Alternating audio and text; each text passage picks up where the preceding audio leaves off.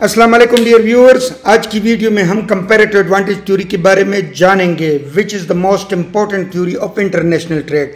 ये थ्योरी हमें ये बताती है कि हर मुल्क को कुछ अशिया की प्रोडक्शन में, दूसरे अशिया की प्रोडक्शन के मुकाबले में एक कंपैरेटिव एडवांटेज हासिल होता है। दूसरे अल्फाज में हम कह सकते हैं कि हर मुल्क जब कुछ अशिया प्रोड्यूस करती है तो उसके लिए जो दूसरी अशिया की अपॉर्चुनिटी कॉस्ट है, वो कम से कम होता है। इसलिए हर मुल्क को सिर्फ़ उन अशिया की प्रोडक्शन पर फोकस करना चाहिए, जिसकी प्रोडक्शन में उसको कंपेरेटिव एडवांटेज हासिल हो या जिसके लिए अपॉर्चुनिटी कॉस्ट कम से कम हो। और फिर उस मुल्क को ये अशिया दूसरे ममालिक से अपनी ज़रूरत की अशिया के लिए एक्सचेंज करनी चाहिए अंडर इंटरनेशनल ट्रेड इसको हम एक आसान एग्ज़ाम्पल से समझते हैं। हम फ़र्ज़ कर लेते हैं कि दो ममालिक है कंट्री ए और कंट्री बी ये दोनों ममालिक अगर equal factor of production produce करते हैं अप्लाई करते हैं तो फिर country A can produce in one day ten computers या वो ट्वेंटी मोबाइल प्रोड्यूस कर सकता है। तो इसका मतलब ये है कि जो मोबाइल जो कंप्यूटर के लिए अपॉर्चुनिटी कॉस्ट है, एक कंप्यूटर के लिए वो दो मोबाइल है। यानी अगर कंट्री ए एक कंप्यूटर प्रोड्यूस करता है तो उसके लिए उसको दो मोबाइल की प्रोडक्शन की अपॉर्चुनिटी को एबंडन करना होता है। या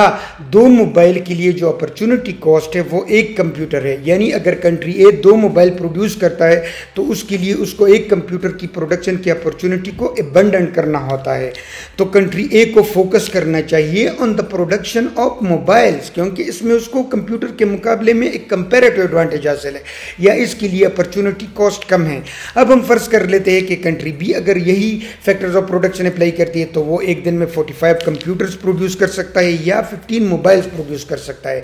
तो यहाँ पे आप देख ले कि कंट्री बी को कंट्री ए पर कंप्यूटर्स और मोबाइल की प्रोडक्शन में एक एब्सोल्यूट एडवांटेज हासिल है। लेकिन हम एब्सोल्यूट एडवांटेज की थ्योरी को नहीं पढ़ रहे, हम कंपेरेटिव एडवांटेज की थ्योरी को पढ़ रहे तो इसलिए हमें सिर्फ़ इन ममालिक की, इन दो अशिया की प्रोडक्शन पर फोकस करना है इंडिविजुअली कंट्री ए और कंट्री बी की। तो इस एग्ज़ाम्पल से ये साबित है कि एक मोबाइल के लिए जो अपॉर्चुनिटी कॉस्ट है, वो तीन कंप्यूटर्स है। जबकि तीन कंप्यूटर के लिए जो अपॉर्चुनिटी कॉस्ट है, वो एक मोबाइल है। इसका मतलब ये है कि कंट्री बी को कंप्यूटर की प्रोडक्शन में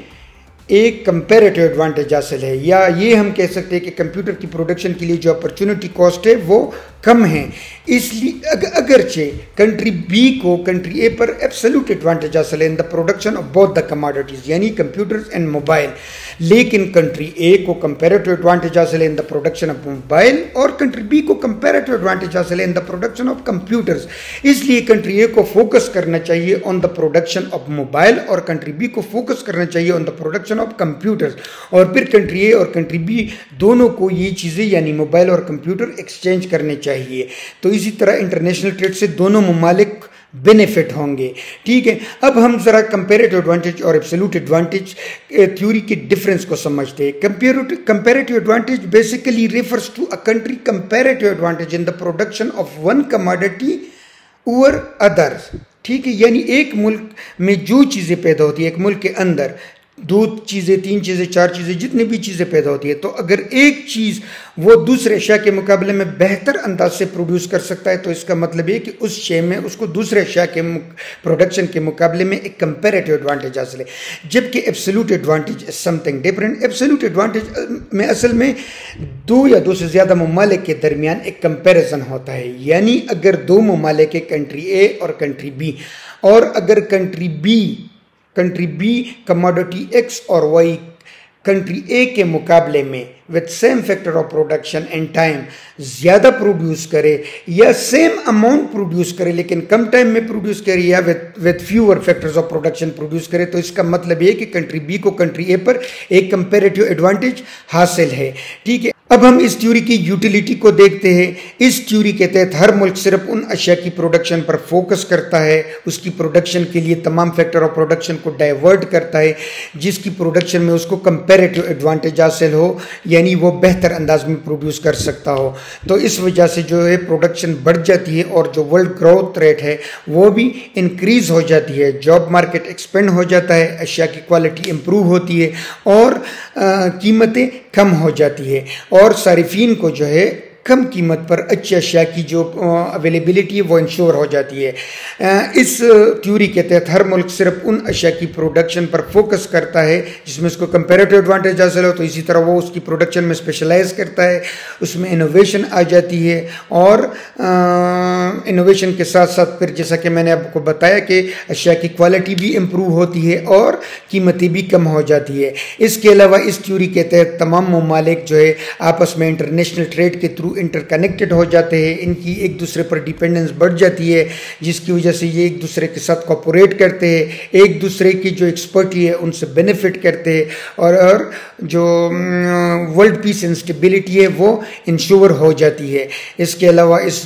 थ्योरी का एक और जो बेनिफिट है कि अगर एक मुल्क को दूसरे मुल्क पर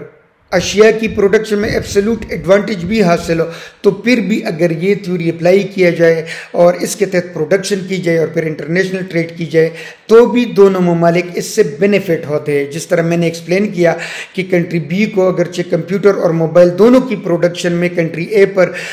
एब्सोल्यूट एडवांटेज हासिल था। लेकिन कंट्री ए को चूँकि मोबाइल की प्रोडक्शन में कंपेरेटिव एडवांटेज हासिल था और कंट्री बी को कंप्यूटर की प्रोडक्शन में कंपेरेटिव एडवांटेज हासिल था तो अगर ये दोनों ममालिक इसी थ्योरी के तहत आपस में ट्रेड करते हैं, पहले फोकस करते हैं उन शक की प्रोडक्शन पर जिस पर, जिसमें दोनों ममालिक को कंपेरेटिव एडवांटेज हासिल हो और फिर ये आपस में ट्रेड करते तो इससे दोनों ममालिक बेनिफिट होंगे। तो उम्मीद है आप जो कंपेरेटिव एडवांटेज थ्योरी है, इसको समझ गए होंगे। Thank you very much